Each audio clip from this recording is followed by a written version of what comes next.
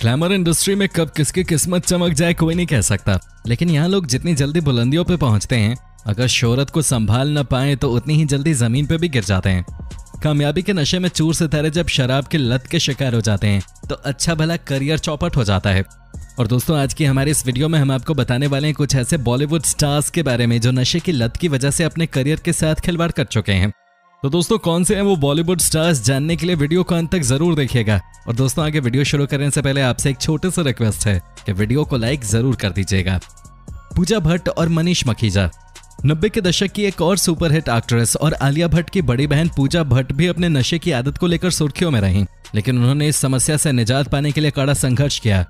पूजा भट्ट ने एक इंटरव्यू के दौरान खुद बताया कि उन्होंने 16 साल की उम्र में शराब और 23 साल की उम्र में पहली बार सिगरेट को मुँह में लगाया था। लेकिन उन्होंने ये भी बताया कि उन्होंने कभी भी कोकेन को हाथ नहीं लगाया। गौरी खान, आपको जानकर हैरानी होगी कि नशे के लस्ट में बॉलीवुड के बादशाह शाहरुख खान की पत्नी गौरी का भी नाम आता है।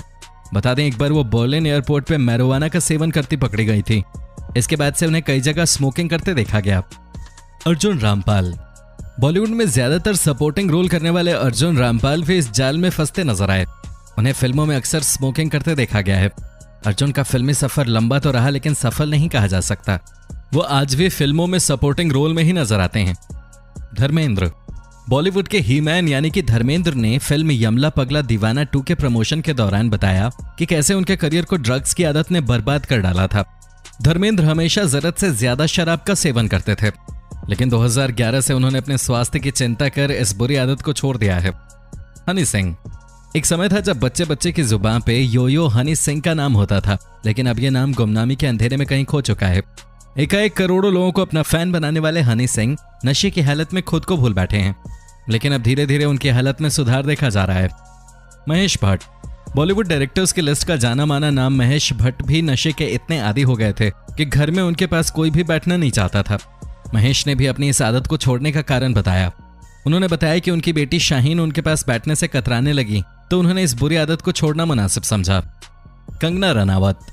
दोस्तों, फ़िल्म गैंगस्टर से बॉलीवुड में डेब्यू करने वाले मशहूर अभिनेत्री कंगना रनावत अपनी पहली फ़िल्म में सिगरेट पीती हुई नज़र आई थी। इसके बाद भी उन्हें कई फ़िल्मों में स्मोक करते हुए देखा गया। आपको बता दें कि कंगना रनावत को भी स्मोकिंग की बहुत बुरी लत है।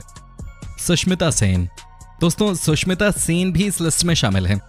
सुष्मिता सेन भी एक चेन स्मोकर हैं और इसके अलावा उन्हें शराब पीने की भी आदत है। संजय दत्त। इस कड़ी में नाम आता है बॉलीवुड के संजू बाबा, यानी कि संजय दत्त का। बता दें कि संजय दत्त तकरीबन 12 साल तक ड्रग्स के नशे में डूबे रहे। इसके बाद उनके पिता एक्टर सुनील दत्त उनका नशा छुड़वाने के लिए उन्हें अमेरिका ले गए। अमेरिका में संजय की नशे करने की आदत लगभग छूट गई, लेकिन वो आज भी स्मोकिंग करते नज़र आते हैं। प्रतीक बब्बर। एक्टर राज बब्बर और स्मिता पाटिल के बेटे प्रतीक बब्बर का बॉलीवुड सफ़र कुछ ज़्यादा लंबा और सफल नहीं रहा। प्रतीक नशा मुक्ति केंद्र में कई बार जा चुके हैं। एक समय ऐसा आ गया था जब प्रतीक नशे में अपनी पूरी ज़िंदगी पूरी तरह तबाह कर चुके थे। लेकिन प्रतीक ने खुद को सुधारते हुए अपनी ज़िंदगी को फिर से एक नई उड़ान दी और आज वो नशे की आदत को बिल्कुल छोड़ चुके हैं। गीतांजलि नागपाल। बहुत ही कम लोग गीतांजलि के बारे में जानते हैं। बता दें कि वो नब्बे के दशक की एक मॉडल रह चुकी हैं और कई टीवी शोज़ में भी काम कर चुकी हैं। लेकिन नशे की बुरी लत की वजह से वो आज दुनिया में नहीं रही। रणबीर कपूर। बॉलीवुड के चॉकलेट और चार्मिंग एक्टर रणबीर कपूर का नाम भी इस लिस्ट में शामिल है। रणबीर कपूर को शूटिंग के दौरान स्मोक करते अक्सर देखा जाता है। यहाँ तक कि उन्होंने खुद ये बताया कि वो एक्टिंग स्कूल में पढ़ने के दौरान से ही स्मोकिंग कर रहे हैं। फरदीन खान।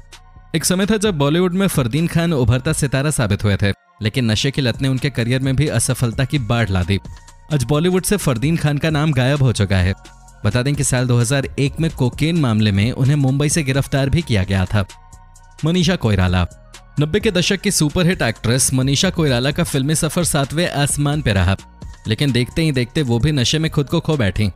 उनकी नशे की आदत की वजह से उन्हें ओवेरियन कैंसर से जंग लड़नी पड़ी, जो कि महिलाओं में सबसे खतरनाक कैंसर माना जाता है। ये पेट के निचले हिस्से में होता है और इसके लक्षण आसानी से पता भी नहीं चलते। लेकिन समय रहते और जान की परवाह करते हुए मनीषा ने नशे को बाय बाय कह दिया। तो दोस्तों, इन फ़िल्म स्टार्स में से आपको कौन सबसे ज़्यादा पसंद है, हमें कमेंट सेक्शन में कमेंट करके ज़रूर बताएँ।